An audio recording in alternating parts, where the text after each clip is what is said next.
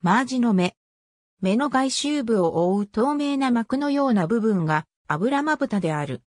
マージでは油まぶたは交際のほとんどを覆うが、瞳孔にはあまり被らない油まぶたは魚類の目に見られる半透明の膜で、まぶた状に目の一部、あるいはほとんど全部を覆っている。新骨魚類のうち、回遊性を持つ浮世でよく見られる。油まぶたを持つ魚の例として、ボラやニシン、サバヒ、そしてサバやアジの仲間などが挙げられる。その機能については結論が出ていないが、いくつかの可能性が提唱されている。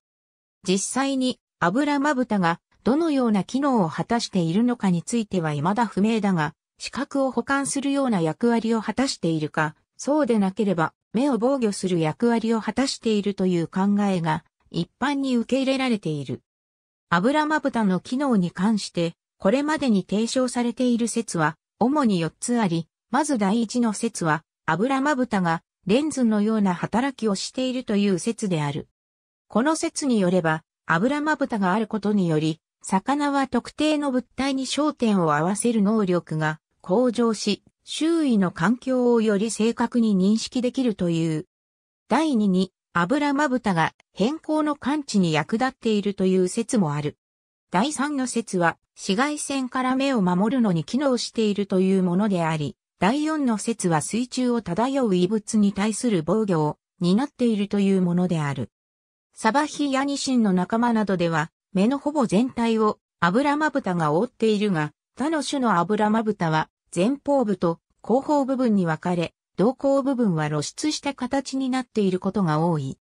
厚さ方向には眼球の上の部分が最も薄く、そこから目の外周部に向かうにつれて厚くなるような構造をとっている。サバヒーにおける観察では、油まぶたは三層の組織からなることが報告されている。最も外側と内側の層は上皮組織であり、その間をコラーゲンからなる結合組織の層がつないでいるという。油まぶたが特定の波長の光を通さないような構造を持つ例も知られている。詳細な工学的性質は結合組織の密度などにより種によって異なるが、多くの種の油まぶたは305ナノメートル以下の紫外線を通さないような性質を示すとされる。ありがとうございます。